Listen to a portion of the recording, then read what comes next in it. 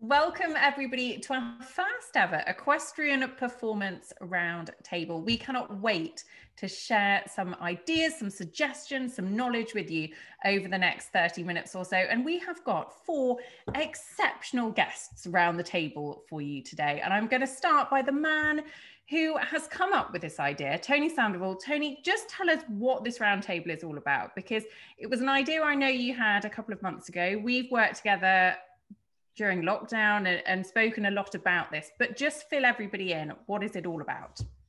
Thanks, Nicole. So this roundtable is basically the start of hopefully a community in where riders can come in and get professional advice, suggestions, ideas on how to properly train, how to uh, eliminate hopefully injuries, and pretty much to have like a source like where they can come in and feel like everything is tailored towards them. All the information is tailored towards making them a better rider and interacting with other people that are also on the hunt for this information. So that way it can be a place where again people just come in and feel safe about expressing what they're dealing with and then they know that all the information that they're getting is coming from credible sources yeah, absolutely. And, the, and I am sure there is going to be some healthy discussion about all of you because you all have different expertise and different areas of interest as well. Um,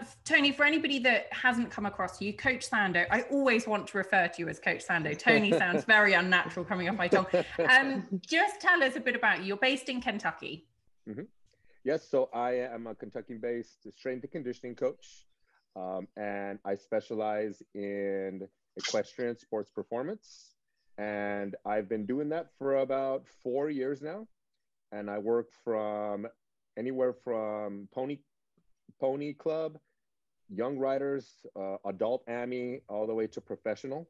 And I have worked with various disciplines on trying to get them to improve their riding by keeping them healthy, safe, strong, and then helping them create some routines that'll get them in the right state of mind. So I don't want to say mental training or anything that has to do with sports psychology. It's more about how to go about becoming more consistent with their performance. Yeah, that's very fair. Um, Jenni Douglas, you are based in the UK. As we're, we're literally from all four corners of the world. I think the, the world doesn't have corners. You know what I mean. Um, Jenni, you are based in the UK. You are Event Fit Rider Performance. Just tell us a bit about yourself as well. Thank you, Nicole, and thank you, Tony, for inviting me on today. Yes, so my name is Jenni. Um, I am a senior lecturer in sport and exercise science at a university in Gloucestershire. Um, but I also own EventFit, which is an online equestrian sports performance platform. And very much like Tony, it's based around sort of strength conditioning services and the business really sort of took off exponentially, if you like, when I started to include athlete mindset and started to work on person first, athlete second mentality. Um, so I really sort of enjoy doing that. And a lot of my practitioner based work is, is sort of um, academically evidenced. So my PhD okay. is looking at the physiological demands of, of event riding and physical characteristics in horse riders. So I kind of carry that through with my students and we work on things like women's health, menstrual cycles in females and such forth. So yeah, that's oh, cool. Excellent. Um, we will go to Australia next. Tash Gunston. Tash, you are the eventing physiologist. We will go through where you can find everybody on social media a bit, little bit later. Whereabouts in Australia are you, Tash? Because it's very early in the morning when we're recording. It is. It is uh, ten to five this morning. Oh, and God, that's oh, bless you! I feel really guilty now no, no, it's all good. It's all good. Um, so I'm from just north, north of Brisbane in Queensland, uh, and I've been I've lived here my whole life. Um, and I graduated uni in about 2014 in exercise physiology. And I initially went out into a allied health setting, working with chronic disease management and clients there and then just recently have combined my two loves of my job and equestrian and eventing and created a, a rider biomechanics based uh, business as well as exercise prescription for for clients to help them improve themselves in the saddle and out of the saddle because I think it's really important to do both. Um, and um, that's sort of where I've started off on. Um, so I think it's really important for people to enjoy exercise and and feel comfortable doing it um, so I'm really I try to promote that that everyone has specific exercises they can do and and it's not all not all one size fits all. So that's definitely what I I believe. Absolutely. Um, last but by no means least, uh, near Salt Lake City, I believe, in Utah, Lisa Bauman, OM Rider Performance. Lisa, thank you for joining us. Thank you. I'm so thrilled to be here. Um, so yeah, as as most of you guys are, uh, the interest in this roundtable is just very exciting to increase rider performance. And um, my background is that I'm a professional rider, trainer, and coach. So I compete professionally. I've been training adults and their horses and young riders. And recently, within the last few years, started integrating um, yoga for riders to try to bridge the gap yeah between um, more of a holistic approach as well as as competition goals because a lot of times what we were finding was that there are rider or horse imbalances and looking for ways to try to balance that out for long-term partnerships most riders and trainers are quite broken.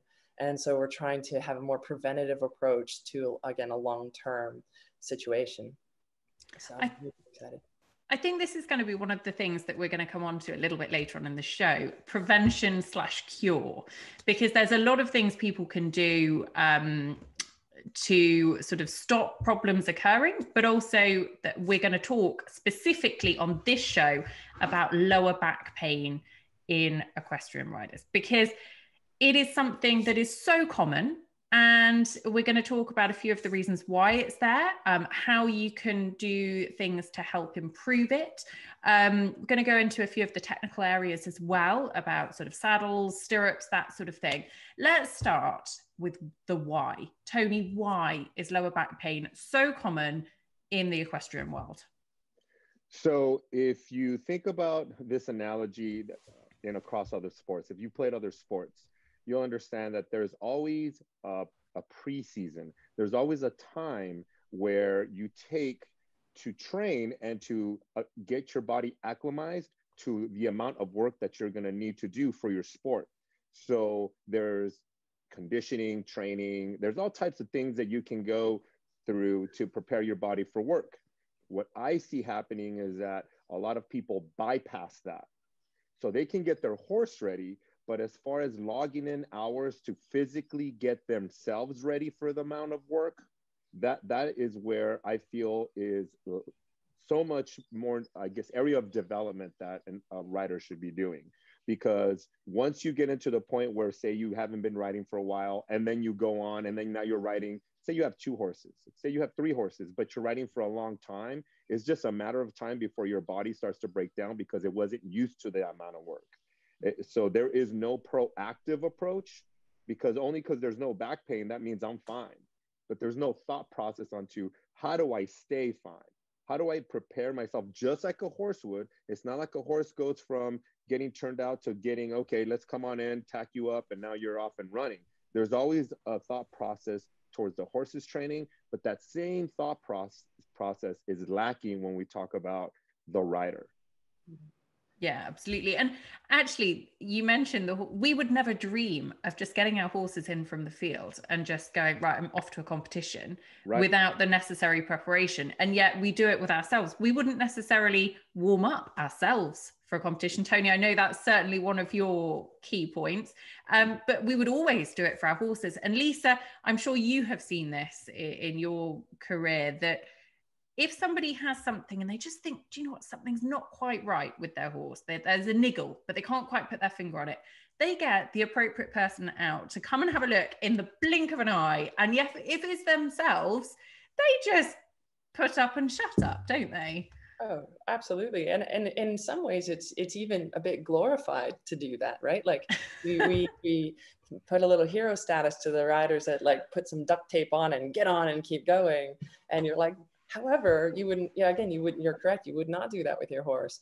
um, I, I also think it's quite reflective on a day-to-day basis you know um, having a training program and you watch your riders and the riders literally they're going through their head like i was late my boss yelled at me and blah blah blah blah. They get on the horse they just go straight to riding. They warm their horse up for 15 minutes every ride but they themselves had, have done nothing prior to getting in the tack to prepare for their ride and i think that's one of the great things about this group that we can help that that approach. And, and it's about talking about it as well raising mm-hmm. awareness just kind of knowledge understanding. You don't have to be an expert to to either listen to this show and get something from it because it is all about sharing that knowledge. Um, and listeners i am very much these four people know their stuff. I'm clinging on to every word. So let's start with a few of the questions that we have been sent in across all of our social media platforms. We asked you what you would like to know about lower back pain. And we've had a real array. I'm not sure we're going to get through all of them on this show because there's quite a lot of them, but we'll see what we can do.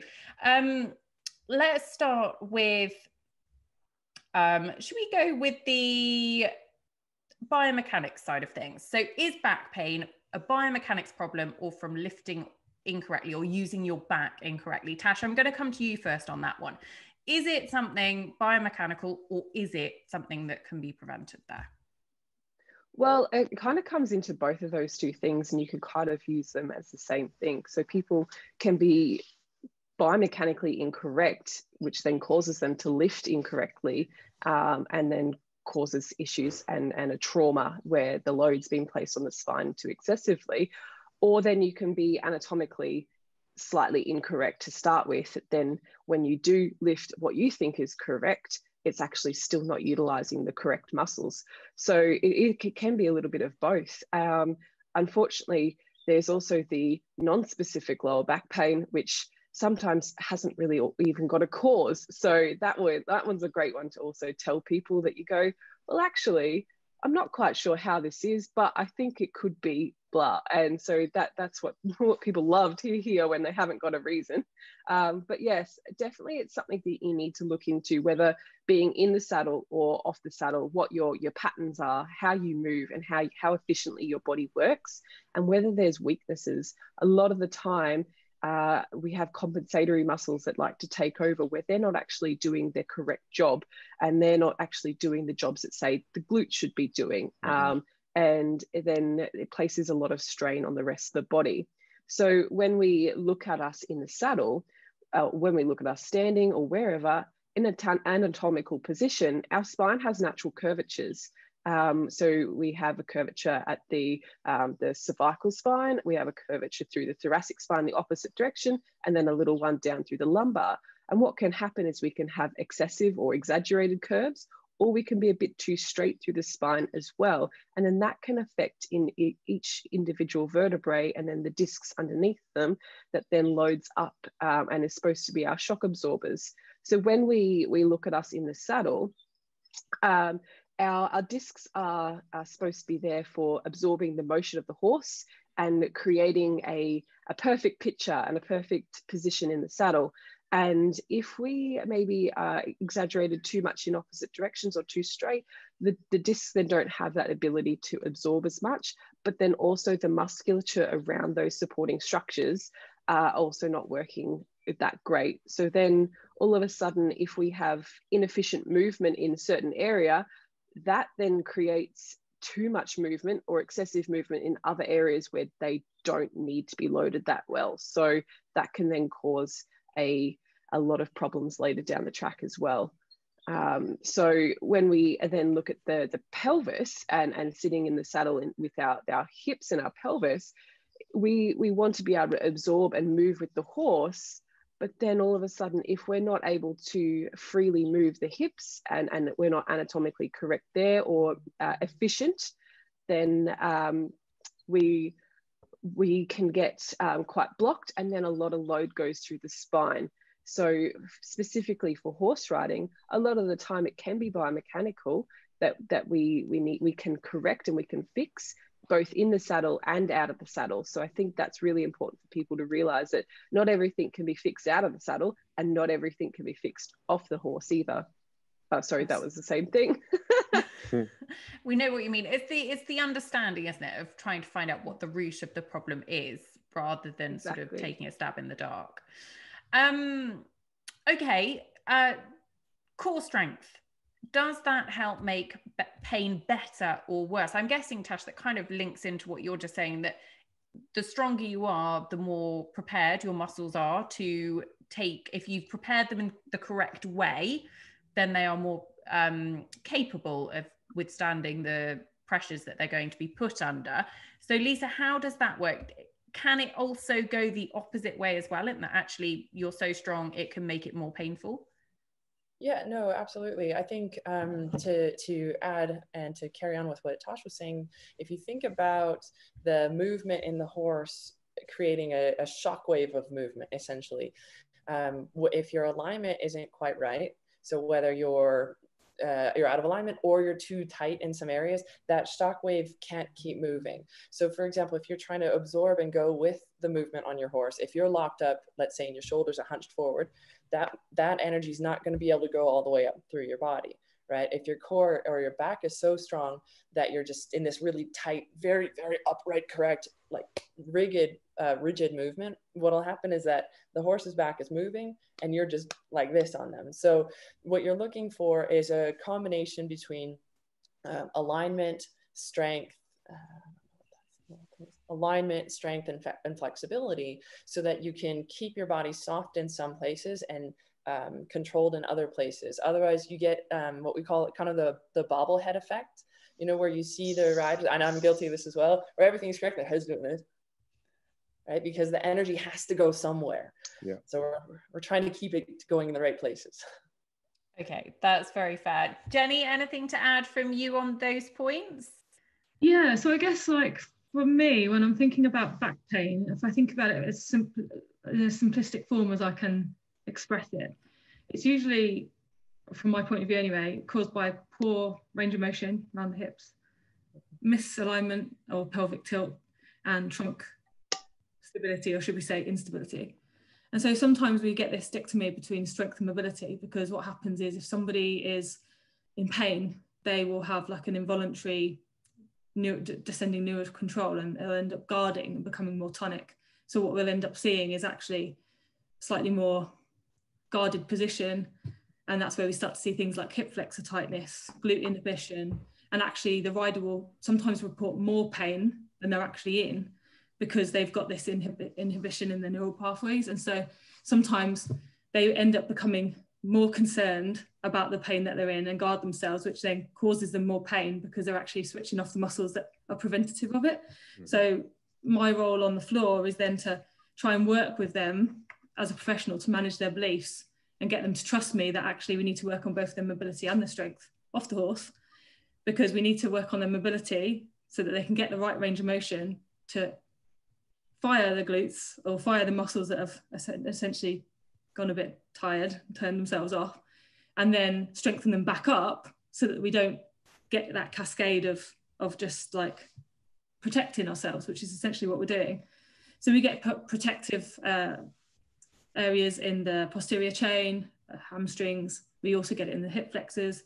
So for me, trunk strengthening and endurance exercises can normalize the firing patterns in the gluteal muscles and obviously other muscles and decreased spinal motion, which we were talking about, that sort of like uh, like lack of attenuation in the spine. Um, so we do lots of like anti-rotation, anti-extension exercises, which you'll see loads on Tony's page.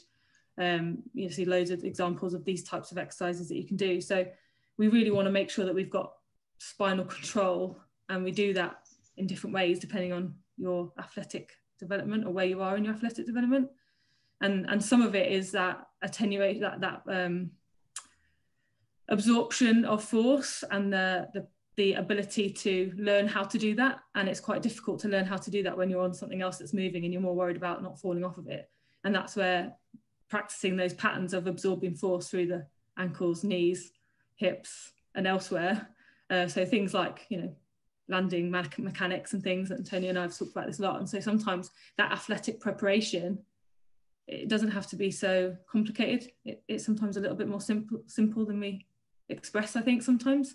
So for me, it's about giving you good range of motion in your joints, making sure you're nice and strong, and actually supporting you through that process because if you're hurting you're going to guard and it's going to hurt even more. So it's just yeah. about really working with that person and, and getting them through the first stages and not going gung-ho. Oh you've got a you know back pain. Let's go straight for the heavy core stuff. And maybe we need to get them a bit more mobile first before we go go in there guns blazing. With yeah, the strength stuff. definitely. Absolutely agree.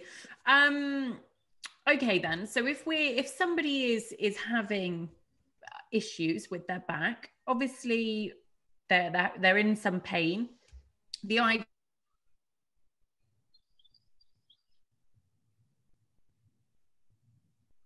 no mm. Uh-oh. We'll just wait for her. I think she everybody's still going, right? Yeah. Yeah. okay. Yeah. I'm sure Nicole will figure it out. Everybody was making great points. Yeah. Everybody was making oh. amazing points.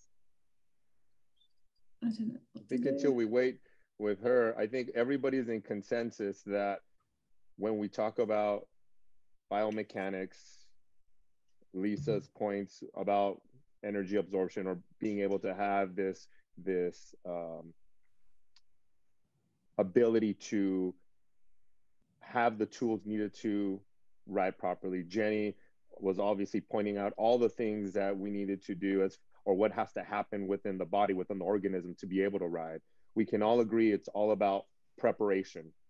It's it, the mm-hmm. riders are very, very quick to point out it must be the saddle, it must be my stirrups, it must be something, but never look at what we all are saying in our own ways preparation.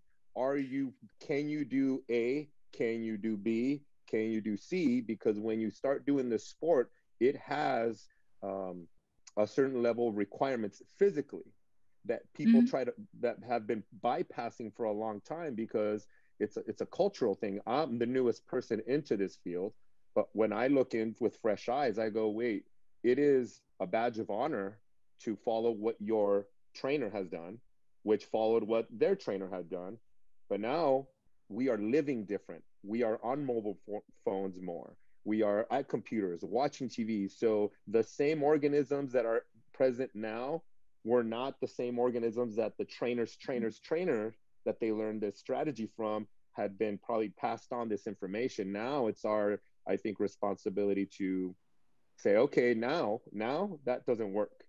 Now, in order to prevent all of these things that are going on, we have to be able to physically prepare off saddle, learn the right biomechanics of movement within your own body. Can you can you do some basic squatting, lunging, pressing, pulling, carrying heavy stuff?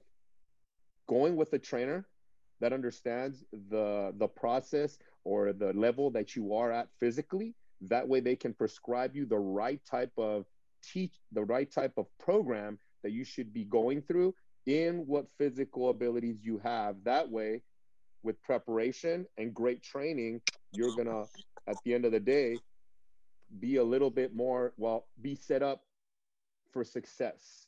Does that make sense? Mm-hmm. yeah. No, definitely.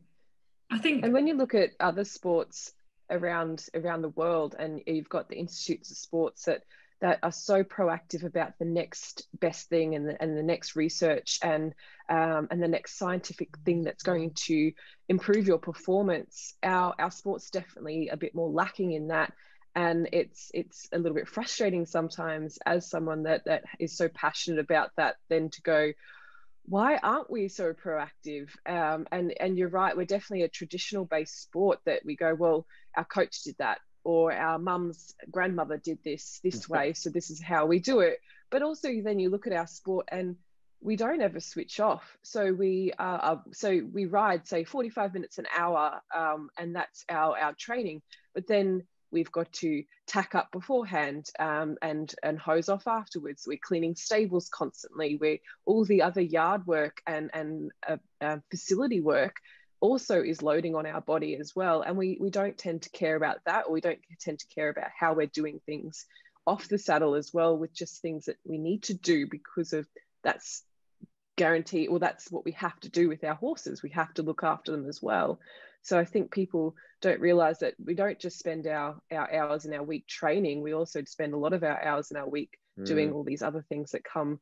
as as normal activities of daily living but they they are still loading on their body and and we need to make sure that we are working efficiently and effectively so that we can facilitate the best performance when we are on the horse so we're not fatigued but also then that we're utilizing the correct muscles um, on the horse as well as off the horse.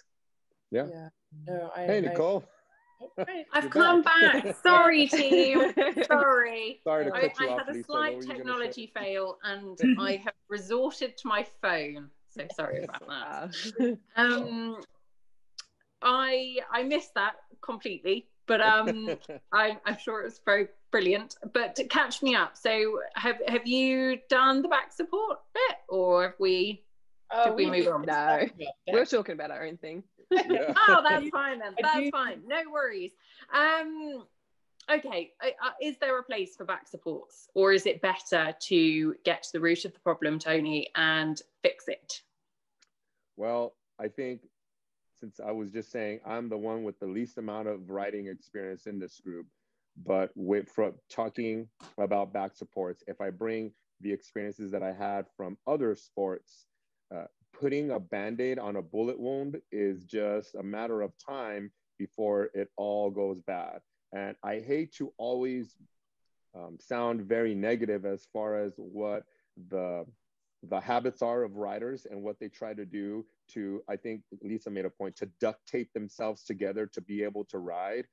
Uh, there has to be a more uh, thought thought out process onto what your body's trying to tell you and and how to really um, translate that into actions that you can you can take. If you need a back support to be able to ride, your brain is sending you messages that you're in pain. So while you're covering up one bullet wound with band-aid, there's going to be another one that comes up.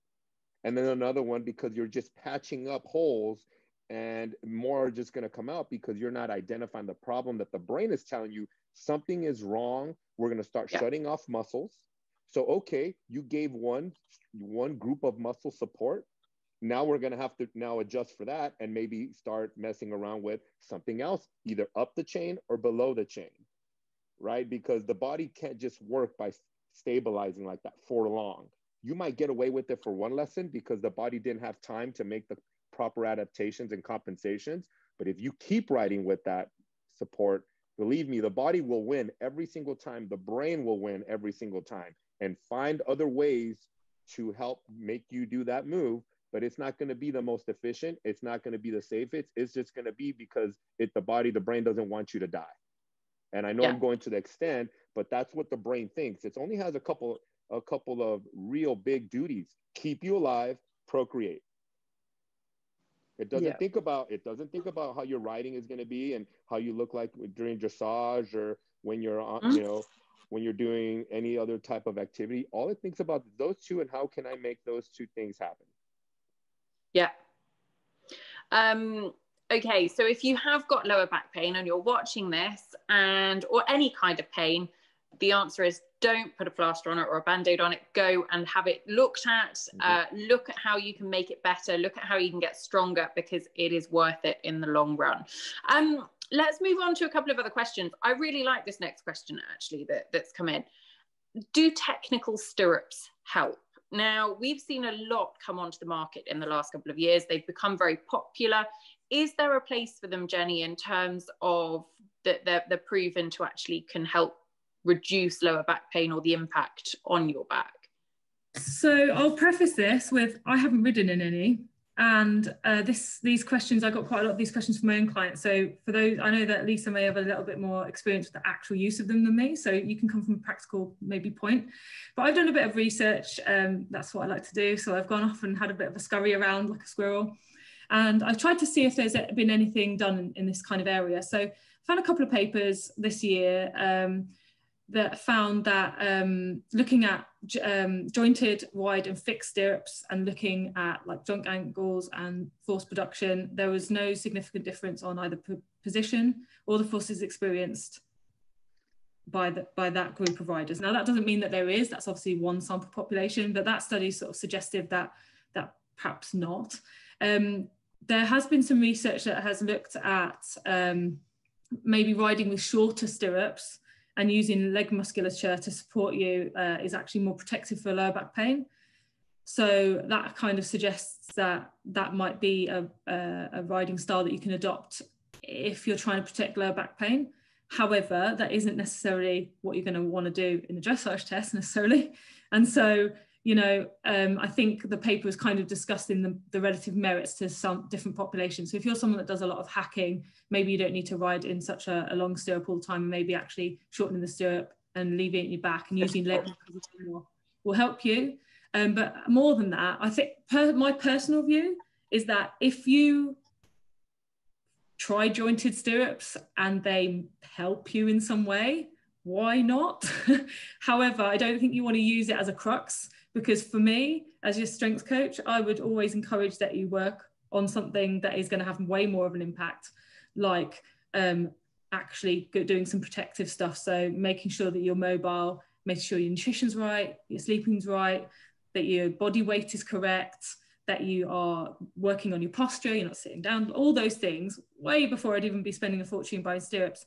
And actually, um, one of the papers in the Journal of Strength Conditioning suggested that if you teach impact attenuation, so things like landing mechanics, absorption of force through the joints in the um, ankles, knees, and hips, that's going to serve you in terms of protecting low back pain than stirrup will.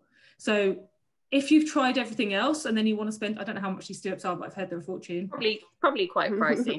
then I, I personally would pro- rather invest my money in a strength coach. of course, I'm going to say that I'm biased. and um, that's probably what I would recommend. And then if you have the uh, finances to give it a go, why not? Um, placebos always help if, if they make us feel confident. So I wouldn't say it was the most effective way to improve lower back pain okay. personally but fair enough. Lisa any thoughts on that?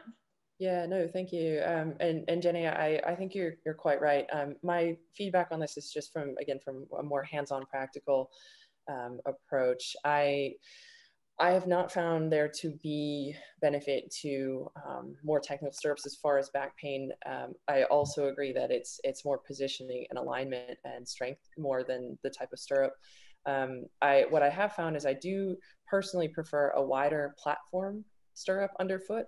Um, but that's not necessarily because of you know what it does for your back in that it creates a more stable platform for your foot to rest on so that helps you maybe have more better alignment rather in the tack um, i'm quite anti the jointed stirrups for the same reason. If you especially if you're in a jump position and you have a jointed stirrup that does this it's quite hard to have a stable foot on that.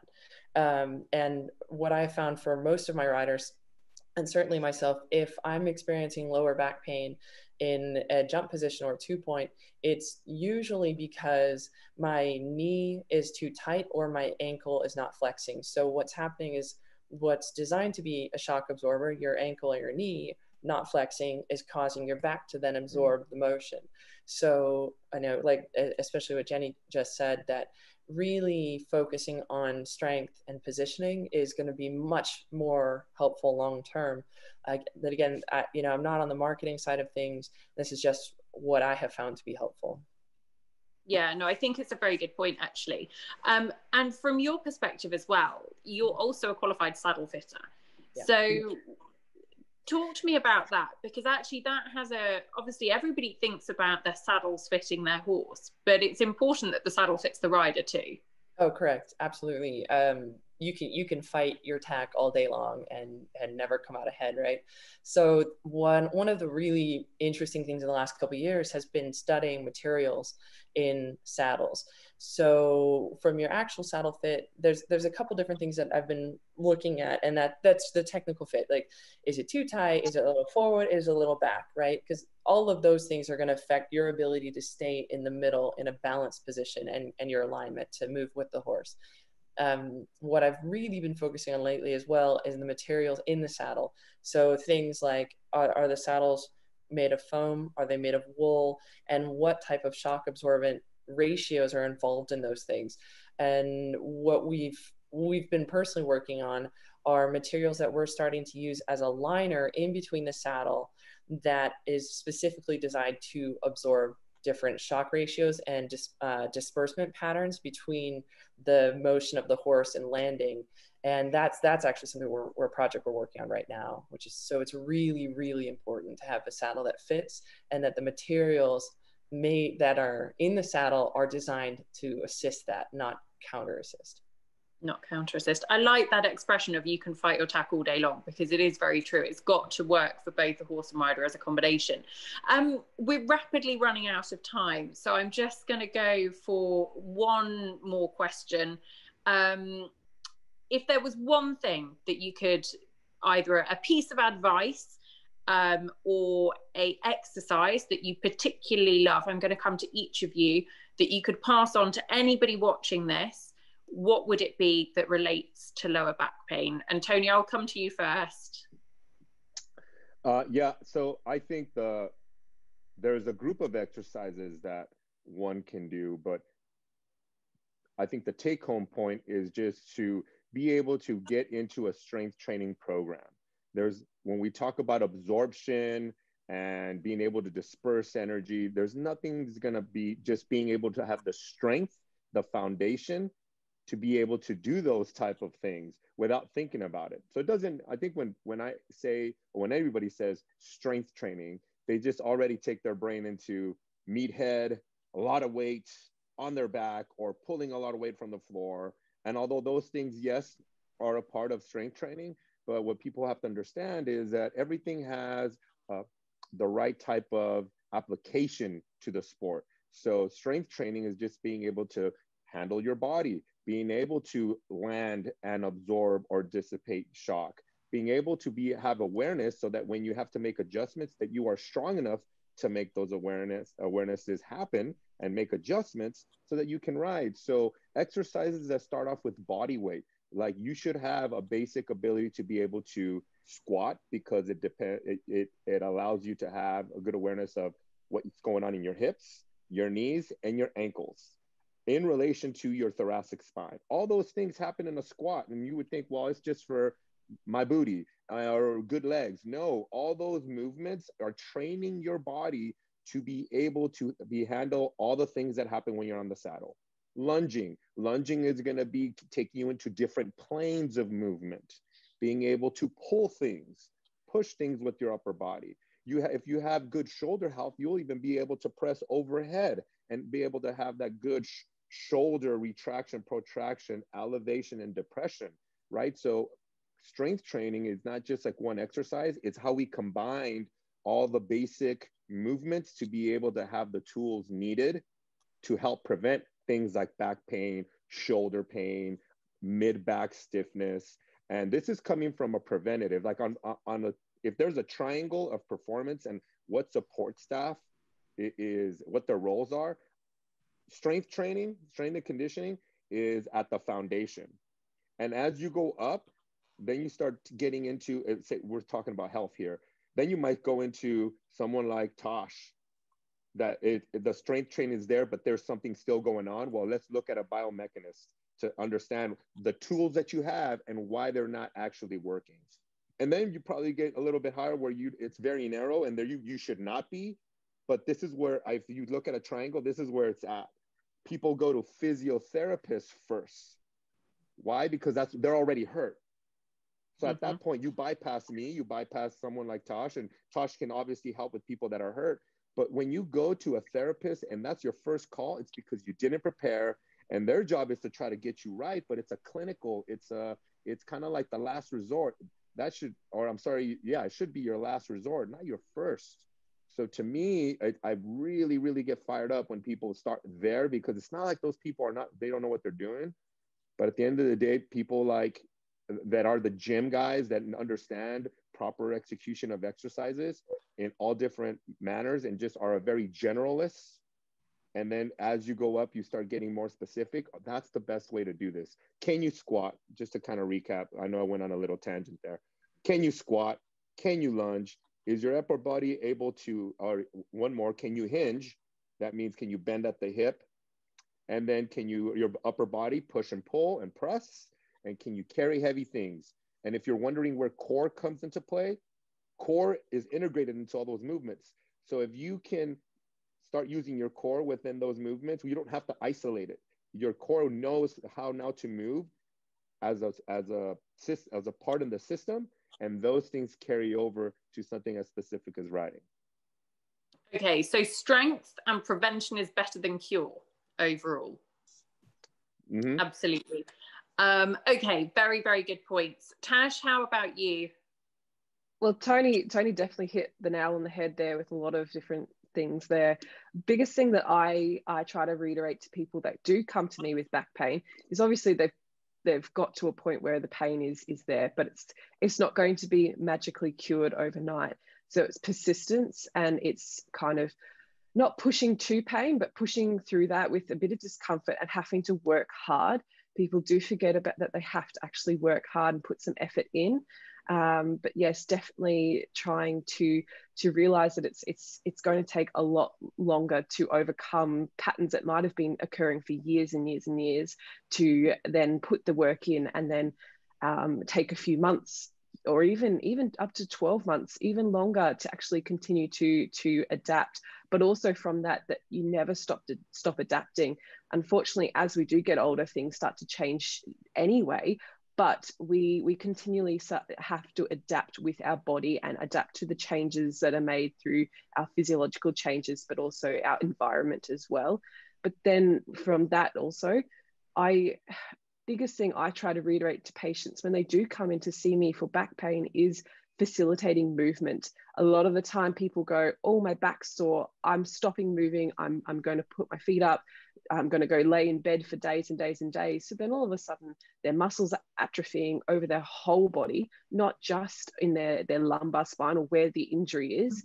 And, and they don't then facilitate movement. They become more stiff, um, less agile. So the big thing that I do is just try to generate uh, and facilitate movement back into their body. And that doesn't have to be specific core strengthening or spinal strengthening. That can just be getting them going for a walk within their capabilities, getting them to do a few passive stretches um, and, and just trying to facilitate that. Um, also going from what Tony said, definitely the big thing is getting teaching people to correctly engage their core but that doesn't mean giving them core exercises and doing pilates. That that means getting them to engage their core whilst they're doing functional activities functional activities that they do day in day out without even thinking about it. So they mm. become more subconscious and more effective with their engagement of the correct muscles and and improve their overall function yeah, I think that's a brilliant point. And I love the hard work. That as much as we would love there to be a magic wand, there isn't yet. Um, not yet. Jen, not yet. Working on it. Working on it. Uh, Jenni, how about you? I've got two things. I'll try and keep it succinct. So, the first thing I would say is athletic development. Um, to ride well, you need to be athletically primed. So, your conditioning, so your fitness, your mobility, you need to, need to think of all these things, your strength, your reactivity, your agility. And what happens, we see with like long-term rider development or athlete development, we see a pattern of us hyperfixating on, the, on our sport really young. And so we move away from other sports, you see, from school, and we focus on equestrian because we have to, because it's a lifestyle. You know, if your mom's bought you a horse or your dad's bought you a horse, you're not going to not go and look after it. And so you don't have time for football, you don't have time for hockey, you don't have time for all the other things. And so you sort of lose lose that that athleticism if you like. And um, i would encourage coaches parents to continue to facilitate their children to do other sports that are reactive that require mechanics absorption change of direction get them in in not necessarily in the gym but like moving constantly doing the hinge squat not necessarily in a formal formal manner but like so they're regular doing these because you don't get that from horse riding and uh, I think it's really important, not just for um, lower back pain, for general health uh, going forward. So we know that increased time in the saddle and increased time doing yard tasks causes asymmetry, and we know that asymmetry causes back pain. So if you're not doing something to offset that, and if you have a period between the age of 10 and 20, and then suddenly you turn 20 and decide you're going to become a gym addict, you've lost 10 years of athleticism that is going to be really hard for you to retain. So that's my first one keep your kids active, not just on the horses. Secondly, would be to really consider the exercise versus training approach because it's a really hard thing I find for riders to get their heads around because they go through this kind of a not bipolar, but you know what I mean, like yo-yo fads. They do something they stop doing something they do something they stop doing something. And then the training program can never be a training program because there's nothing no consistency or no progression and they jump from one thing to another. And i would really say you know any, exercise is better than nothing but if you just pop in a, a local i don't want to i won't call names but if you just pop in on a very popular youtube person and watching them whilst it's great for your general health it's not necessarily going to make you a better rider and i think you have to really if you're listening to this, I'm going to assume you want to be a better rider. And therefore, I would really think about how you can be progressive with training. So you're constantly moving ahead a little bit rather than losing a bit of weight, putting it back on. That's not correlated to performance at all. So that would be my two things. I think. Yeah, no, I think they're very, very good points. I find it really interesting that keeping your kids active in other sports because actually it is so riding is a lifestyle, isn't it? and mm-hmm. and it becomes all consuming and actually that's not always the best thing long term um lisa last but by no means least how about you yeah no i mean what brilliant comments you guys and and i think everybody is speaking exactly what we need to hear and and i think one of the biggest things from from my perspective is that if you again if you're watching this you're already interested but just start. Don't get intimidated. Just start somewhere because yes it is a lot of work and yes it takes a lot of time but anything you do is better than not doing anything. And the biggest thing that we can do to improve our riding are the things outside of the tack. And I think that's a, that's an ideology that riders really need to understand. Um, one of one of the things I would love to see is that coaches in training programs and riding specific training programs are encouraging that type of awareness. Because like for example what we do is the first 10 minutes of every ride we do some yoga. And it's it's basic. It doesn't have to be a ton but 10 minutes before you get on a horse will at least bring awareness to where you are that day. Because i think that's one of the biggest things is mm-hmm. first one you have to be open to it. If you're here you're open to it. Two you need to know what your balance issues are before you can really start addressing anything. So one very so like a very simple simple not necessarily easy simple thing you can do before you hop on your horse is stand upright nice and tall close your eyes lift one foot out in front of you. Put that one down lift the other foot. You're going to find that one of the one of them is easier than the other you know or stand there put your arms out twist and then twist back and you're going to find one arm comes farther back than the other.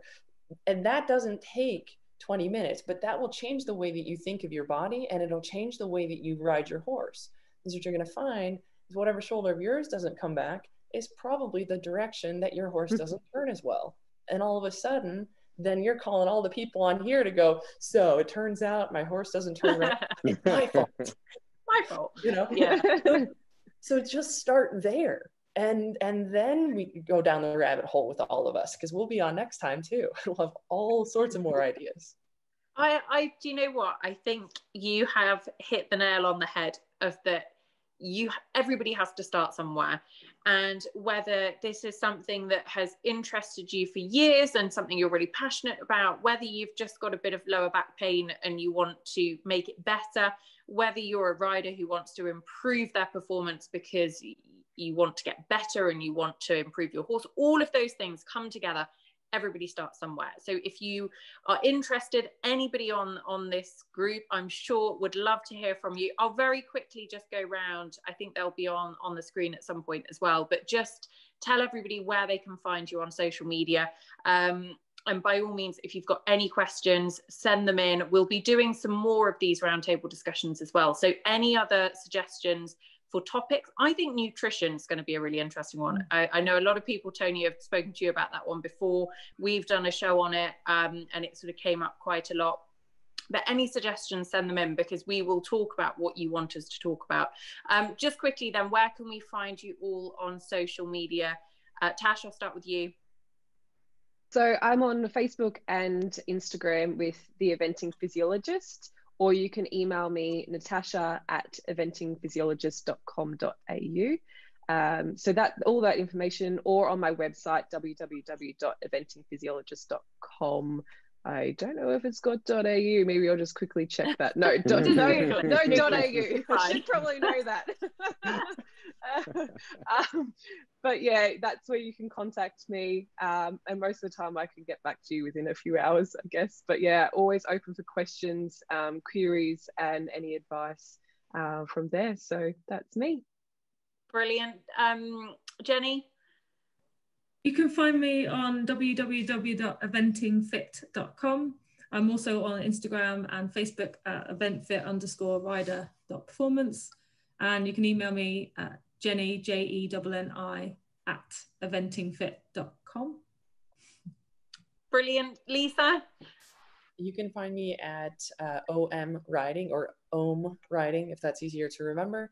So the website is www.omriding.com. Um, on Facebook, Instagram, email, Lisa at OM Riding, and um, pretty attached to social media, unfortunately. So I'm pretty quick. Aren't we all? Aren't we all? um, Tony, how about you? Uh, you can go to my website, www.coachsandotraining.com and on Facebook and Instagram uh, at Coach Sando Training. Um, and my email is tony at coachsandotraining.com. Uh, and before I leave, I just wanted to uh, say that last question and how we all came together and addressed different points. In my head, I'm always thinking, oh, I should have said this. And I felt like everybody was saying the things that I was thinking but didn't say. But that's why I was thinking, this is why this is why I wanted to get this together because everybody brings in the ideas that for some reason don't make it out of my head. And I'm, I feel like supported, if that makes any sense. And maybe getting into my feelings a little bit, but it's like it feels awesome that everybody here is is thinks in the in a similar way in the sense of we're all trying to help riders uh, stay healthy and ride better. I think it's something that we need to see across the industry, isn't it? Collaboration over competition. Of course, we have to compete if we're competitive in an actual competition, but that's yeah. we, we're yeah. all in this together, everyone. And and I think again, this comes back to riding is different to other sports. It is dangerous. There is an element of danger to it, and everybody respects that. And there aren't many sports that you would go in and find competitors very most of the time um, generously sharing opinions about the way how things on a cross country course ride and different lines and what they think about this and that is something that is brilliant about equestrian sports and and something that we really want to embrace and and so we want to make this a real community um, go and find everybody on social media I'm at Nicole Brown Media, uh, NicoleBrownMedia.com. Please don't send me any fitness performance questions because I'm only going to send them to these guys. But by all means, you could you you're more than welcome to come and say hi. Um, but guys, thank you all so so much. Tashi, I'm so sorry that we got you up so early in the morning. Um, it's been a very long day now. It was worth it. Yeah, I got to I got to go feed some horses and uh, go to work. there we go. It is all for the greater good. A huge thank you to you all, and a huge thank you to you guys at home for watching. We hope you've enjoyed it. There is more where this came from, so get in touch with any one of us with your suggestions, and we'll be back very soon. But for now, the first equestrian performance roundtable has come to a close. Thanks for watching.